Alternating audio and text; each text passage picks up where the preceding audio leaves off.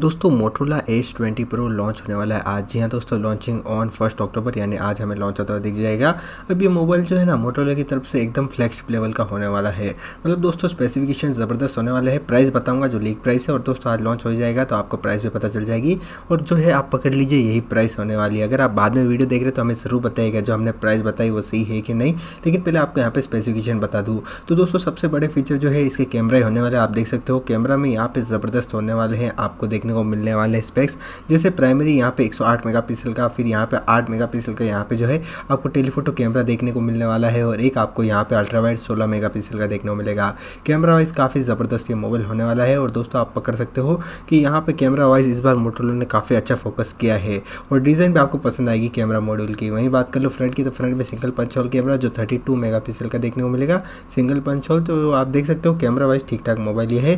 वहीं बात कर लो दोस्तों कि यहाँ पे आपको जो है डिस्प्ले कैसे देखने को मिलेगी। तो मैं आपको बता दूँ कि यहाँ पे आपको 6.7 पॉइंट इंचेस की ओ डिस्प्ले जो 144 फोर्टी रिफ्रेश रेट के साथ देखने को मिलेगी। एच डी प्लस होने वाला है।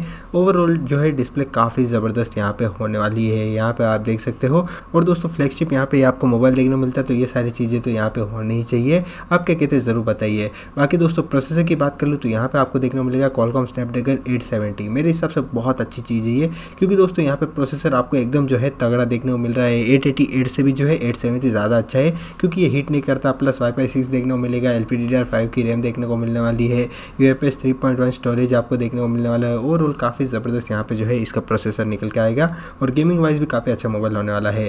बैटरी की बात कर लूँ तो चार हज़ार सौ एम एच की बैटरी और उसको चार्ज करने के लिए यहाँ पर आपको थर्टी वोट का फास्ट चार्जर देखने को मिलेगा। तो दोस्तों वही बात है, डेढ़ घंटे में पूरा चार्ज हो जाएगा और चार्जिंग मतलब बैटरी भी ठीक ठाक ही है मेरे हिसाब से। ज़्यादा यहाँ पे बड़ी तो नहीं है, लेकिन हाँ आपका एक दिन निकल सकता है अगर आप ज़्यादा गेमिंग नहीं करोगे। लेकिन गेमिंग करोगे तो आपको पता है एक दिन निकलना थोड़ा मुश्किल होगा। तो ये तो इसके स्पेसिफिकेशन हो गया। अब दोस्तों, इसकी प्राइस की बात कर लूँ तो ये जो है दोस्तों, छत्तीस हज़ार नौ सौ निन्यानवे रुपये से स्टार्ट होगा आठ जी बी, एक सौ अट्ठाईस जी बी। जी हाँ दोस्तों, यही प्राइस जो है इसकी कन्फर्म प्राइस बताई जा रही है। अब दोस्तों, मेरे हिसाब से इतनी प्राइस में बहुत ज़बरदस्त ये मोबाइल निकल के आ सकता है। क्योंकि अगर आप देखोगे तो इस प्राइस में हमें वैसे भी और भी मोबाइल देखने को मिलते हैं, लेकिन जिनको एकदम जो है स्टॉक और एंड्रॉइड वाला मोबाइल चाहिए, उसके लिए काफ़ी अच्छी डील रहेगी। प्लस दोस्तों, यहाँ पे जो है मोटोला इस बार बहुत अच्छा काम कर रहा है एस ट्वेंटी से। क्योंकि एस ट्वेंटी सीरीज़ अगर आप देखोगे तो वैसे भी अच्छी है और ट्वेंटी प्रो तो ये अभी मुझे बहुत अच्छा लग रहा है। अब देखते हैं कि यहाँ पे जो है कि मतलब ये प्राइस होती है कि नहीं। मेरे हिसाब से तो ये होगा क्योंकि गलती से कल जो है मोटोला वालों ने लीक कर दी थी प्राइस तो मेरे हिसाब से ये प्राइस होने वाली है। आप क्या कहते हैं ज़रूर कमेंट करके बताएगा वीडियो पसंद तो लाइक करना चैनल को सब्सक्राइब भी ज़रूर करना।